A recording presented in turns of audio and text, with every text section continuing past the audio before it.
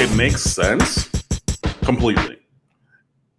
It did come a little bit as a shock, just in the timing, because Manny Diaz happened to have been giving his uh, a Zoom meeting presser, you know, about okay, well, you know, we're gonna. This is where we. It was the day before practice start. Practice started yesterday, by the way, fall camp. Uh, just gonna throw that out there. I know that it's kind of a crazy time, but yeah, the day before uh, that, he was Manny Diaz was giving his uh, a Zoom meeting, press conference, and things like that, and he had literally just not too far in front of that said, you know, I think uh, all of our guys are going to be here. Nobody's told me that they're opting out. You know, like when we hit the field tomorrow, and he gets a text message, and he looks, and they have the screenshots of it. It's kind of funny, but he gets a text and he looks down, his face drops, and then he comes back and it's like, well, Gregory Rousseau actually just texted me that he's he's opting out of the season, and you know things like that, and it's it's a big loss. You know, he's one of the best players on the team. Uh, obviously, 15 and a half sacks as a redshirt freshman. Uh, you know, just a dynamic player at 6'7, 260 uh, as an ed- edge rusher. Uh, obviously, he can beat you on the edge, as you saw against Florida State. Uh, you twist him inside against these uh, offensive guards and centers who maybe are not as adept at pass blocking as the tackles. And I mean, he had four sacks in that game alone against Florida State. But yeah, you know, he's a Gregory Rousseau is going to be a first round draft pick. I mean, and the you know people are saying, oh, you know, maybe he needs to show more on film. But you know, there's all these mock drafts that have him, you know, third, fifth, twelfth, eleventh, sixth. You know, like just top fifteen. Like, you know, it's really uh, it's a thing where you and this. And I know that, you know, obviously the colloquialism in recruiting is, oh, you make a business decision for going to whatever school. This is a literal business decision for Gregory Rousseau.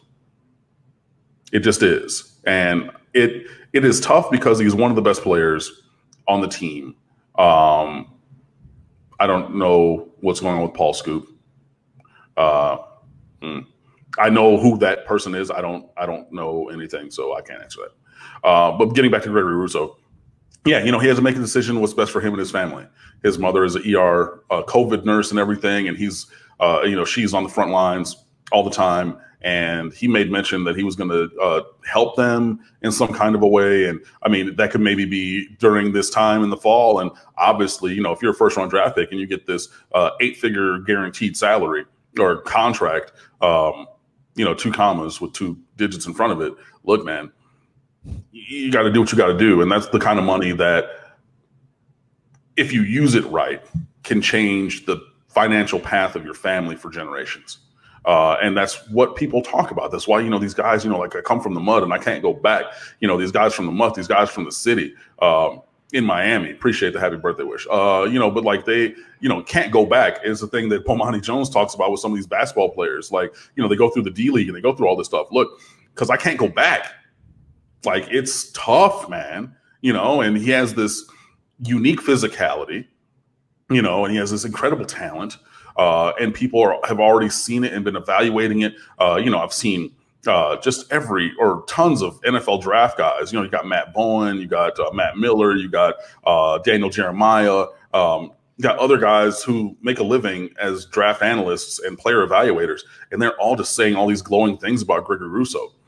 The only the only thing that could happen is, uh, you, you, know, you can get hurt or something, uh, you know, or, or, anything with COVID, and that could just be negative for him. Uh, and, and that's what he is thinking as well. So uh, it's a tough decision, obviously, for the Hurricanes. So you take him um, off of the roster. I mean, on the roster on scholarship, but he's not going to play this year. So uh, that does change things. Um, to replace him, uh, back in the number 15 jersey, which he wore in high school and also uh, when he started out at UCLA is Jaelan Phillips, the number one overall recruit a few years ago in 2017, I believe that was, um, in America. And he, uh, yeah, he's already, and we already saw it. He, he's put it up on social media. He was wearing it at practice yesterday. He's like, cool, look, I get it. I was going to wear 95, and I was fine with that. But I'm saying if 15 is available, and y'all know that I always wore 15, you know what I mean? Let me get that. So then he got it. And he's a guy who's, you know, 6'6, 260, almost 270. Um, Jaelan Phillips, or six, yeah, 6'5, 6'6, 265, 270. And during their speed testing, this is a guy who hit 22 miles an hour on sprints. What? At that size? Though that's like that's almost touching Tyreek Hill kind of speed. You know what I mean? 22 miles an hour on a sprint is ridiculous speed. And you got this mountain of a man doing that. He's going to be in there. Jahfari Harvey is another guy who uh, everybody is saying might be the most most athletic guy out of any of those guys at defensive end.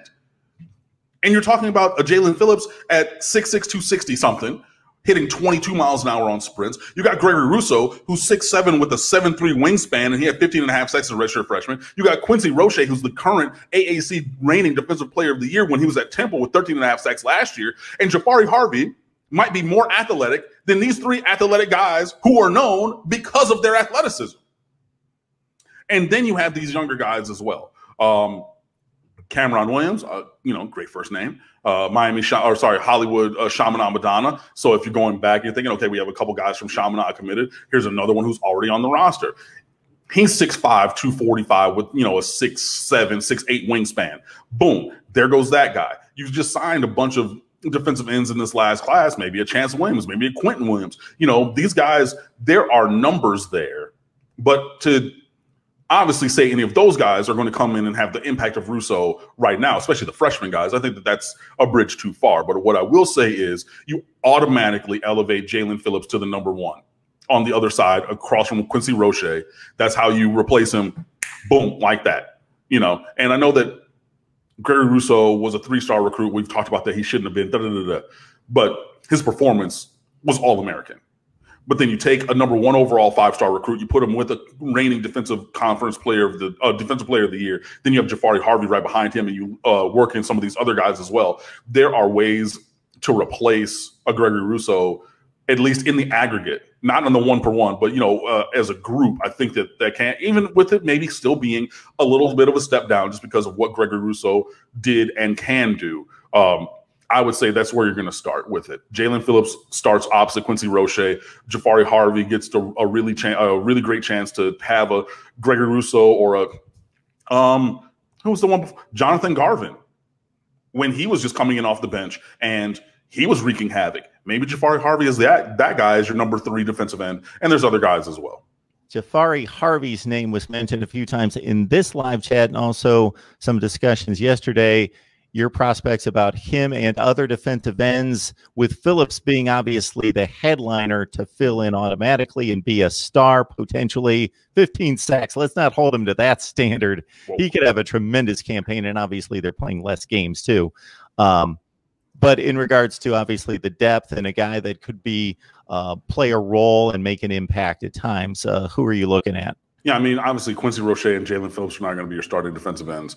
Uh, Jahfari Harvey coming in as your number three uh, off the bench. Uh, he, he's going to be a guy that's going to play a lot. Uh, and again, I, I, do have high expectations for him just because um, of just who he is and his, his recruiting caliber and everything.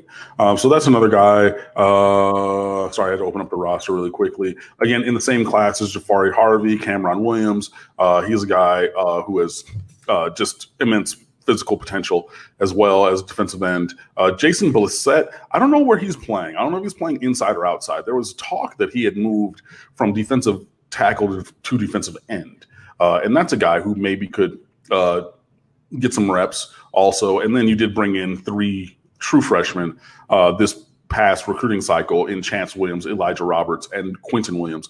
Chan- the Williams boys, not related. None of them are related. Uh, Quentin Chance, or Cam, all last name Williams, all play defensive end. None of them related. Weird, but the the younger ones, I, I think it'll take a real real big effort for them to see the field this year. Of them, I would say Chance probably has the uh, better ability just because of his physicality. Because uh, Quentin Williams is a little bit shorter, uh, so he's uh, he's a little bit more of a tweener, whereas Chance Williams is more of your stereotypical 6'4", 245 defensive end. Uh, and Elijah Roberts, I think he could play end or he could be that kind of athletic defensive tackle a la RJ McIntosh, which is uh, the comparison that we made. Because uh, he was like 6'3, 275 in high school. And I mean, that's before you really get on a nutrition program. That's before anything. So you're, you're a cheeseburger away from 290, basically, that size, which is a great size for a defensive tackle. You know what I mean? Um, so I think that he's probably trending towards going inside, uh, but maybe he slims down and trims down and, and stays outside. Uh, we'll see. But yeah, th- those are the guys. But I mean, yeah, it's really going to be the trio of Jaelan Phillips, Quincy Roche, and Jahfari Harvey, and then whoever slots in behind them.